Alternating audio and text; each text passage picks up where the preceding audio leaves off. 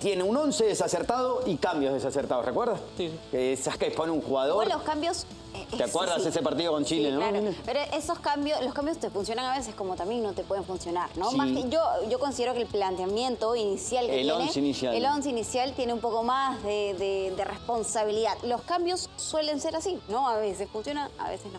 Por ahí yo me inclinaría que el planteamiento inicial que tiene el técnico es el que va a definir y, un poco y más, allá de un nombre no es dónde te paraste en la cancha, me parece, Maxi. ¿Cómo iba a quedar con eso? Sí, sí, porque, a ver, el partido contra Brasil lo, lo inicia con los tres del medio de hoy.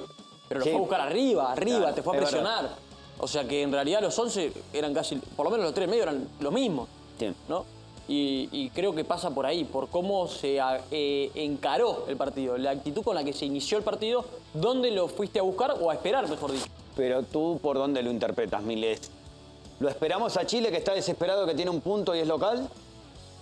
¿Salimos con respeto y lo jugamos en mitad de campo? ¿Por dónde puede pasar esa idea? No de no salir un poco a jugarlo más arriba. No comprendo el respeto que se le tuvo hoy día al rival en ese A un sentido, rival ¿no? con tantas a un bajas. rival con tantas bajas, a un rival que en, en el papel para mí Perú sí llegaba como favorito después de lo visto con Brasil, ¿no? Después de lo visto con Brasil creería que sí porque tenía más herramientas en algunos casos y Chile tenía muchos más Sí, eh, problemas Porque que los dos llegaban con un punto, pero la manera que llegaban era sí, distinta. claro.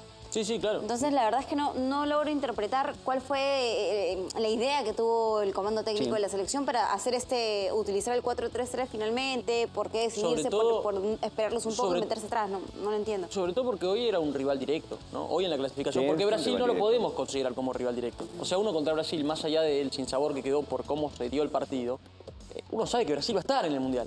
O sea, Sí. creo que no hay ninguna duda de que Brasil va a ir a la Copa del Mundo. Entonces uno, perder contra Brasil, dice, me da bronca por cómo se dio, pero es el rival que va a todos los.